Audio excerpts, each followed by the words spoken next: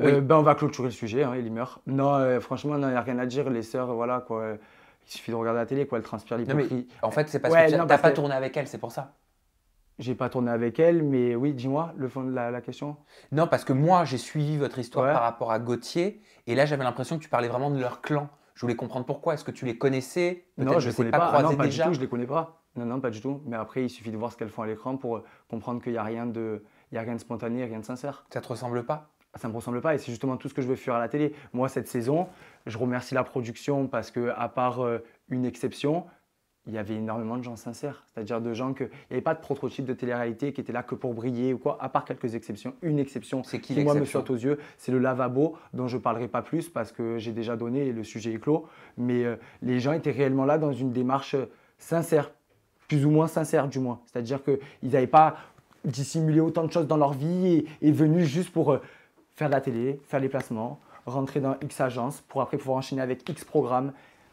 Moi, c'est ce côté de côté-là de la télé qui, qui, qui me déplaît. J'en fais pas depuis longtemps, mais depuis que là je suis dedans, je regarde et je pense que c'est ça qui a énormément changé avec la télé. En fait, c'est, c'est la vie, c'est même pas la télé, c'est que tout est en rapport avec l'argent. Et tout est en rapport avec l'argent. C'est-à-dire que ces gens-là, ils sont brouillés par l'argent. Ils viennent avec de, pour, faire le, pour faire leur pain, pour après faire leur placement, pour partir sur X programme, alors que l'amour, ils l'ont déjà, ils ont déjà tout en fait. Je vais être cash. Là, pour moi, je sens que tu fais référence directement à. Isabeau. Oui, le lavabo, c'est ce que je t'ai dit. Oui, ça Oui. j'ai compris.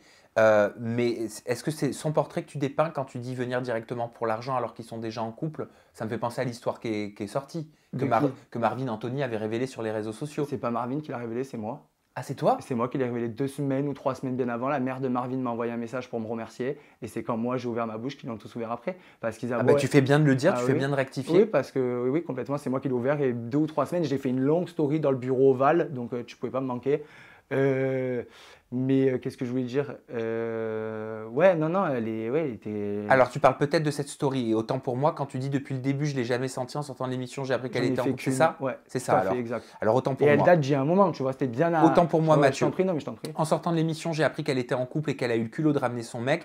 Deux jours avant le tournage, elle a couché avec un des Marseillais en espérant faire l'émission. Par la suite, tout ça en étant toujours en couple. Elle a volé des vêtements à la moitié des filles de l'émission. Mhm. Elle a tout calculé en avance pour s'embrouiller avec Alix. Bref, je ne supporte pas ce genre de vicieuse calculatrice manipulatrice qui se fait passer pour une victime pour attendrir les gens faibles d'esprit. C'est du déjà vu mille fois en télé-réalité. Ça. Complètement. Pourquoi t'as pas répondu?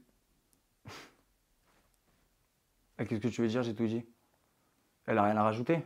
Elle va se décrédibiliser encore plus et si elle répond, elle sait que je vais répondre. Mais honnêtement, le sujet Isabeau, j'ai envie qu'on y passe parce que là, c'est mon interview et j'en ai vu plein de cul de parler d'Isabeau. Parce que, genre, euh, pff, c'est bon. Elle a déjà gratté trop de lumière autour de Alors- tout le monde et son plan était tout prévu. C'est-à-dire. que- Alors, juste une question et on change de sujet Oui. parce que là, pour le coup, je t'ai pas entendu en parler et c'est juste pour affirmer ou infirmer une information qui a été développée sur le plateau de Aja. Ouais. Je sais plus qui l'avait dit d'ailleurs.